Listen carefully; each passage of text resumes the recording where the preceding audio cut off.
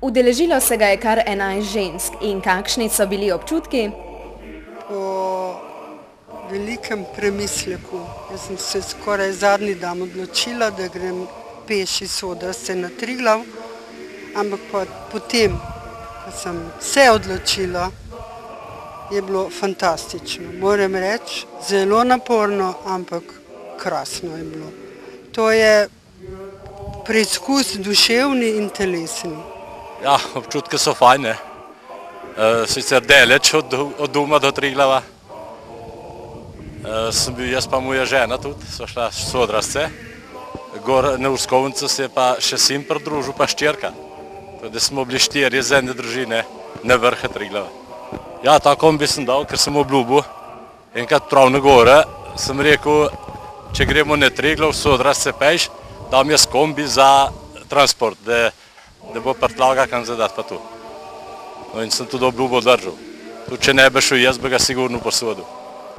Prvega dne so planinci prenočili nekje pri Vrhniki. V četrtek je bila po desetih urah hoje njihova postaja na Blegošu. V petek pa so jih noge nesle v smeri Bohinjske bistrice. V bližnji Uskovci so tudi prespali. V soboto zjutraj jih je čakal najtežji del poti do vrha Kredarice. Druščina je v nedeljo sestopila z Triglava in se vrnila domov. Iz Triglava do Rudnega polja, se pravi do Pokluke, so prišli še peš, tje nas je prišel pa iskati avtobus, tako da nazaj ni podrazno, ker pa že preveč utrujeni in psihično in fizično. 81-letni Franc Češarek, dolgoletni izkušen planinec in pohodnik, je za našo kamero povedal, kateri del poti oziroma vzpona je bil najzahtevnejši. Baje je bil najbolj hiter, ampak bom prav, da je hodil lepo počas, samo s tempom, se ni ustavljal, kar mislim, da je dobro. Nekateri so se pa ustavljali in zamujali. Pa ga bom jaz zdaj le vprašal, Viktor, kaj je bilo zate najtežje, ko se zdaj hodil? Če je sploh kaj bilo? Bilo, res je bilo in to je bilo, bi rekel, od koče, ko smo šli, ne, ne, od skovnice pa do uh, one koče. Vodnikov je.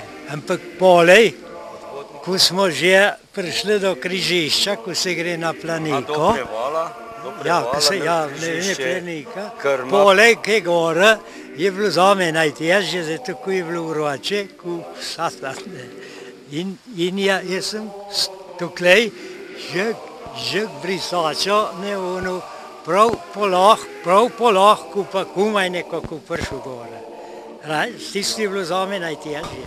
Povedal bi reče tu, ne, da so vse pohodniki dokaj dobro prenašali napore treh, štirih dni, da razen tistih nekaj žulov, kot je bilo, ne je bilo nobenih posebnih poškodb, tudi pritožbne na samo potovanje. Vsem pohodnikom iskreno čestitamo za osvojeni vrh Triglava. Tistim, ki so bili pa prvič, pa čestitamo za to, da so postali prav ta pravi Slovenci.